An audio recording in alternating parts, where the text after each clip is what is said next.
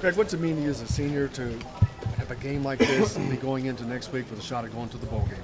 I mean, just going out there, giving it our all. I mean, being a senior, playing all four years. I mean, just leave everything I got in the, in the stadium, Memorial Stadium.